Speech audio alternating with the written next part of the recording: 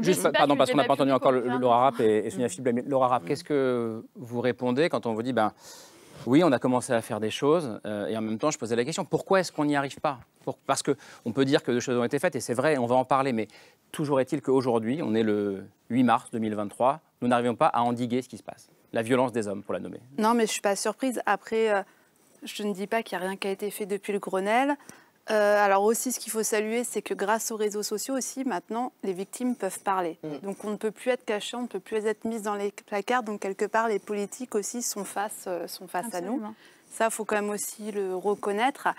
Après, euh, honnêtement, moi, pour moi, ça va faire que d'augmenter.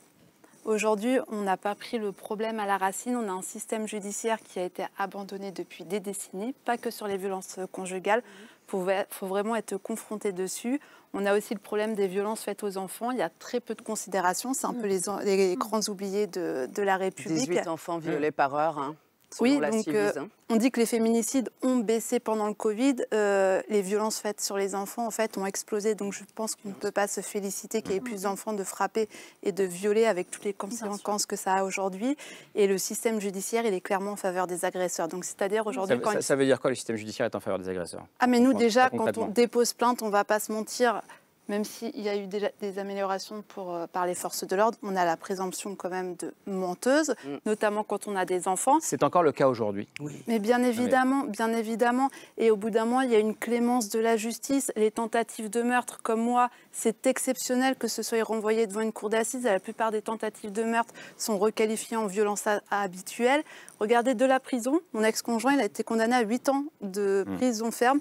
Et euh, hier, j'ai appris que il allait être libéré. Demande d'aménagement de peine acceptée. Il m'a pourri depuis 4 ans et demi de sa prison. Ma plainte pour harcèlement avec 10 jours d'ITT, on lui a dit que la demande d'aménagement de peine, qu'elle allait, on sait que c'est lui, mais qu'elle allait être classée sans suite, et voilà. Mais on faut Donc libérer elle a, elle a été acceptée, et maintenant. Voilà, en fait, j'attends la réponse du procureur. Il a 10 jours pour faire appel. Le procureur s'était opposé à sa demande d'aménagement de peine, mais j'ai pas de réponse.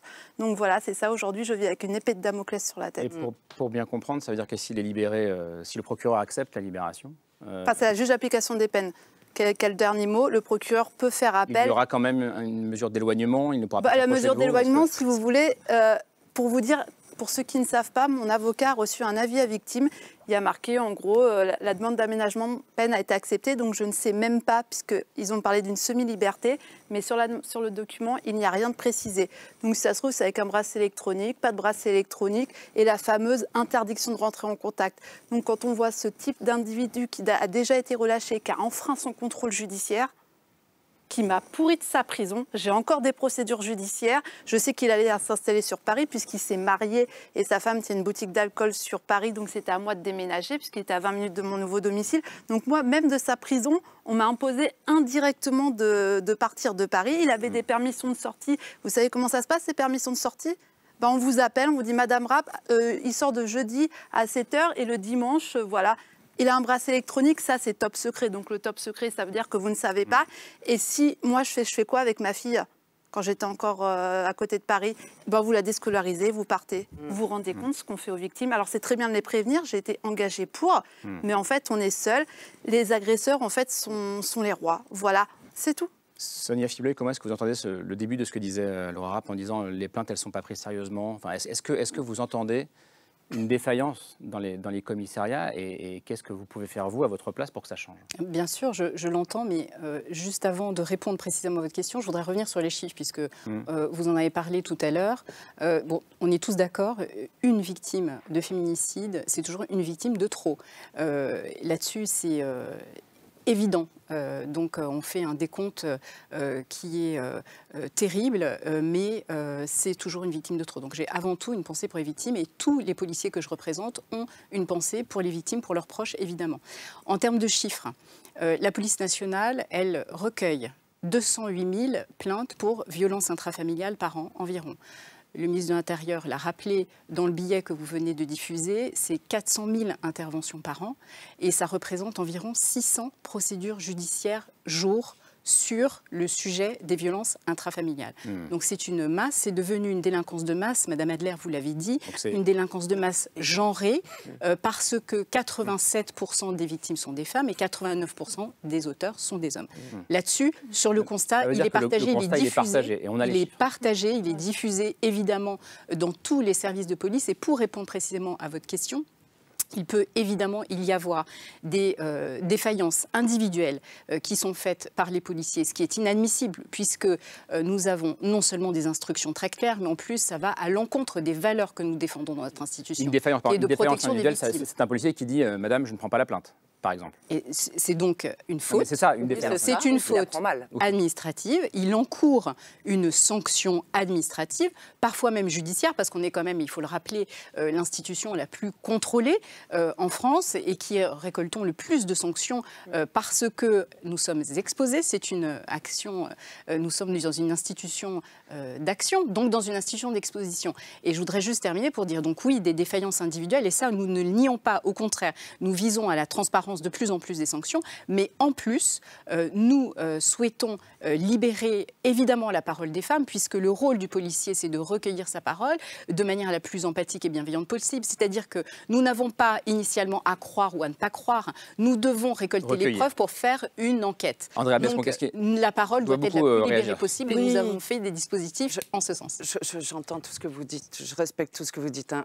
c'est juste qu'on ne peut pas se contenter de se dire que c'est un problème individuel. Quand quand, Chloé, par exemple, euh, porte plainte, euh, vient au commissariat, que cet homme lui dit euh, bah non, rentrez chez vous, j'ai pas que ça à faire, en fait, en, clair, et que deux heures plus tard, elle est tabassée devant chez elle, laissée quasiment pour morte, deux mois de coma, un œil, un œil un œil gauche, euh, c'est fini. Hein. Son œil est aveugle, c'est fini. Déjà, elle s'est réveillée. Alors, elle n'est pas sur la liste des féminicides, mais euh, vous conviendrez que c'est compliqué. Cet homme avait déjà refusé de, prendre, euh, de se déplacer l'été d'avant. Et là, je viens de lire un article quand même sur, sur un policier qui, qui, a refusé, pareil, qui a insulté carrément une victime de violence conjugale. Elle a appelé en disant voilà, je ne sais plus quoi faire. Et devant chez moi, il va me tuer. Il me dit qu'il va me tuer. Et le, le policier lui a dit écoutez, vous arrêtez de m'emmerder. Excusez-moi, je suis vulgaire c'est lui qui l'a dit, c'est pas moi.